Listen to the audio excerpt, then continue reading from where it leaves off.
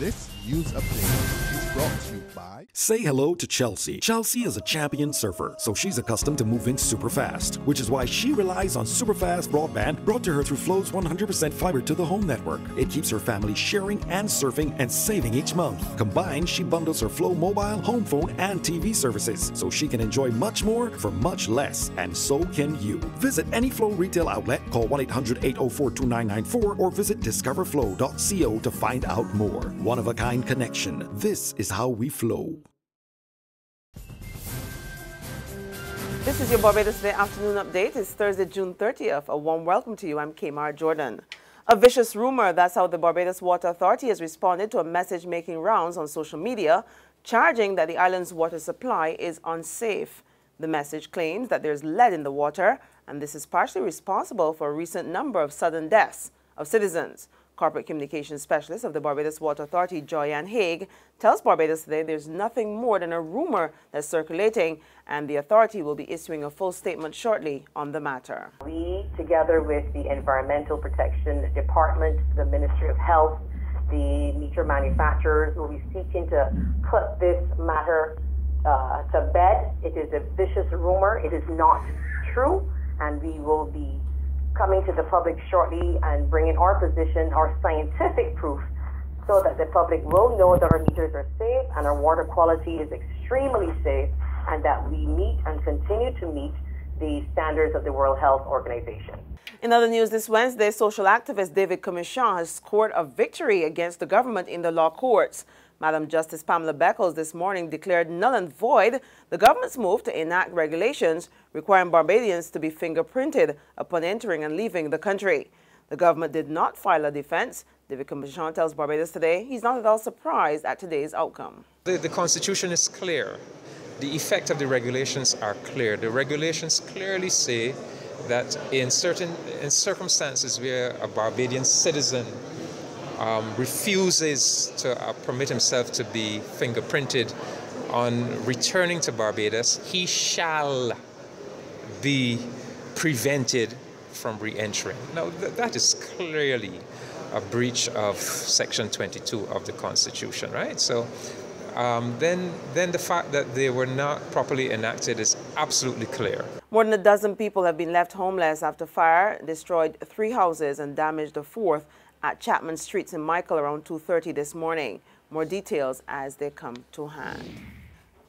Perish the thought of building a new hospital in Barbados. Professor Sir Henry Fraser issued this frank advice as he addressed the top brass of the Democratic Labour Party last evening at a lecture hosted by the party at Almond Bay Hotel.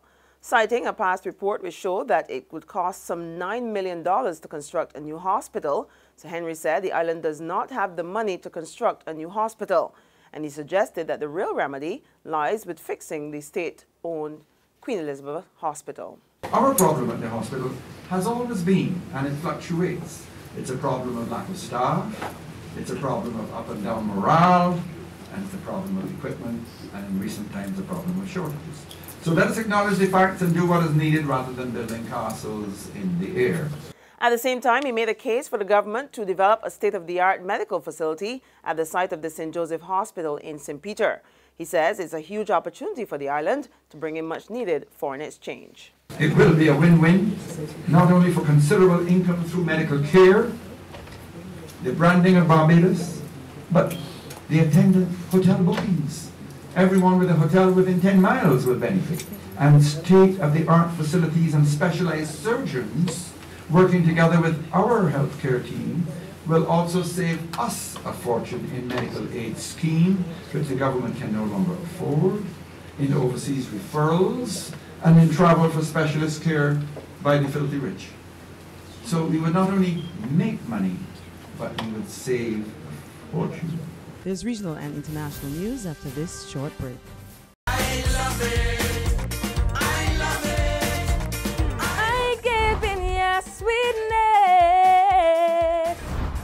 It's your girl Azizi, the Barbados City Crop Over Superstar 2015. The competition is even more exciting this year. There'll be three champions. The public will choose their junior, Soca Royale, and Pic-O-De-Crop champion. So here's how it works. Go to our Facebook page at www.facebook.com slash Barbados Today to fill out your competition form. Two, upload your video with your song to Barbados Today's Facebook page. Three, make sure you invite all your friends and family to vote for you. The contestant with the most votes by the end of their competition will be crowned champion. I gave me a sweetness. I know you like sweetness. All of this is sweetness.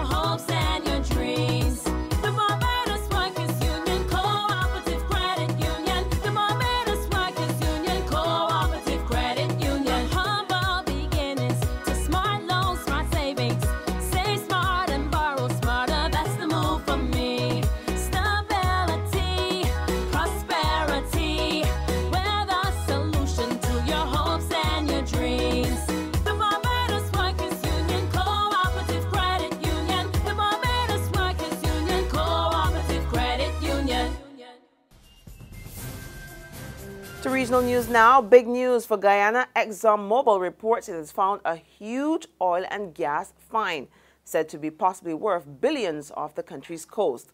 The find was made in an appraisal well. Last year, Exxon found oil and gas in another offshore well, and at the time, Exxon said that that find held as much as 700 million barrels of crude worth an estimated $40 billion. The company is now planning to drill a third well in the coming weeks. Maybe we should get them to come over to Bridgetown. Further afield, Boris Johnson, one of the leading voices in the Brexit campaign, that's the vote where Britain uh, voted to leave the EU. He and also the man considered to be the favorite to replace the outgoing British Prime Minister David Cameron, delivered a bombshell today announcing he doesn't want the job. The former London mayor says after consulting with his colleagues, he's concluded that he's not going for that office or that place at number 10. This is our chance to think globally again, to lift our eyes to the horizon, to bring our unique British voice and values, powerful, humane, progressive, to the great global forums without being elbowed aside by a supranational body. And instead of being afflicted by nerves, let us seize this chance and make this our moment to stand tall in the world. That is the agenda for the next Prime Minister of this country. But I must tell you, my friends, you who have waited faithfully for the punchline of this speech, that having consulted colleagues and in view of the circumstances in Parliament, I have concluded that person cannot be me. My role, my role will be to give every possible support to the next Conservative administration to make sure that we properly fulfil the mandate of the people that was delivered at the referendum and to champion the agenda I believe in. Well, that's on news and sports, but for more, you can log on to www.barbadostoday.bb. You can also subscribe to our e-paper or email updates, or you can like us on Facebook.